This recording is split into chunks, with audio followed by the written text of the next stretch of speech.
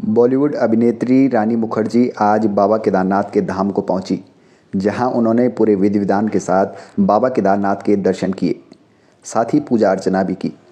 रानी मुखर्जी शुक्रवार सुबह केदारनाथ धाम पहुँची और बाबा का आशीर्वाद लिया। इस दौरान बद्री केदार मंदिर समिति ने उनका स्वागत किया और प्रसाद भी भेंट किया। आपको बताते चलें, अभिनेत्री रानी मुखर्जी शुक्रवार सुबह हेलीकॉप्टर से केदारनाथ धाम पहुँची। इस दौरान उनके साथ कुछ सुरक्षाकर्मी भी मौजूद रहे।